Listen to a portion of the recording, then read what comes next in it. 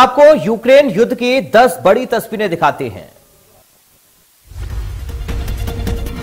Ukraine के खिलाफ रूस के हमले लगातार जारी हैं। रूस ने यूक्रेन के चार सैन्य ठिकानों पर मिसाइल से हमले किए। इसमें खारकोव के दो हथियार डिपो भी शामिल हैं, जिस पर अटैक किया गया। रूसी रक्षा मंत्रालय के दावे के मुताबिक, पिछले 24 घंटे में यूक्रेन के 500 सैनिकों, उनसठ बख्तरबंद वाहनों, तोपखाने, माउंट और कारों को नष्ट कर दिया गया है।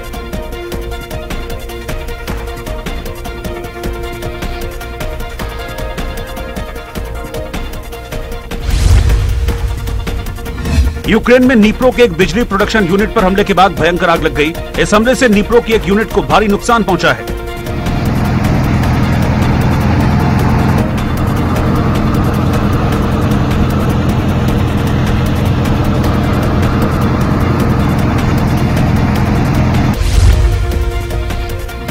यूक्रेन के खेरसोन में रूस के खिलाफ लोगों ने प्रदर्शन किया। रूसी सैनिकों ने प्रदर्शनकारियों को मौके से हटाने के लिए बल प्रयोग किया। लोगों को डराने के लिए हवाई फायरिंग की गई और आँसू गैस के गोले छोड़े गए।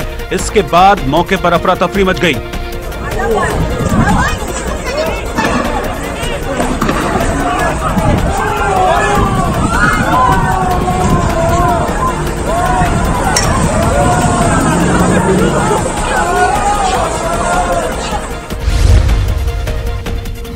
रूस में बेलगोरेट के स्टायरा निलिदोवका में एक हथियार डिपो में भयंकर आग लग गई। बीच बीच में धमाकों की आवाज़ें सुनाई दे रही थी। आशंका ज़ाहिर की जा रही है कि यहाँ यूक्रेन की ओर से हमला किया गया होगा। हालाँकि अभी इस बात की कोई पुख्ता जानकारी नहीं है।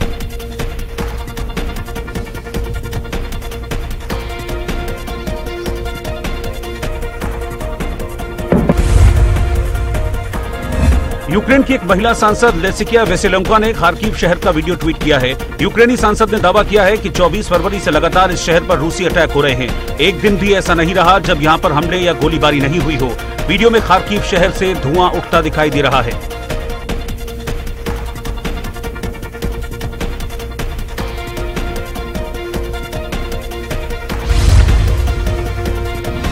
यूक्रेन ने रूस पर आरोप लगाया है कि उसने अजोवत्सल में 24 घंटे के दौरान 35 हमले किए। यूक्रेन ने हमले के दौरान घायलों का वीडियो जारी कर दुनिया को उनका दर्द दिखाया और कहा कि ये दर्द और आँसू असली हैं।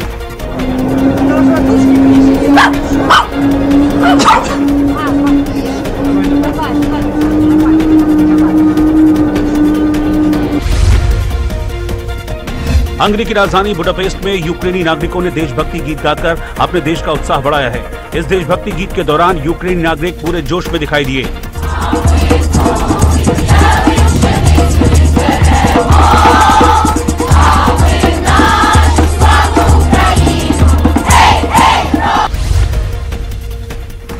अमेरिका के ह्यूस्टन में एक फुटबॉल क्लब, डायनेमो ने एक फ्रेंडली मैच में यूक्रेन में हो रहे हमले के खिलाफ अपना विरोध ज़ाहिर किया।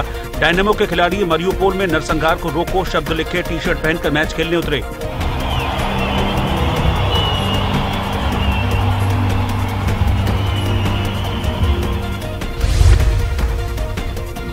यूक्रेन के कीव मेट्रो स्टेशन में एक चैरिटी कंसर्ट का आयोजन किया गया। इस दौरान जंग के खिलाफ गीत गाए गए। इसमें इरपिन की तीन साल की लियोन बुश ने देशभक्ति गीत गाया। बच्ची जब देशभक्ति गीत गा रही थी, उस दौरान लोग भावुक हो गए और उनकी आँखों में आँसू आ गए।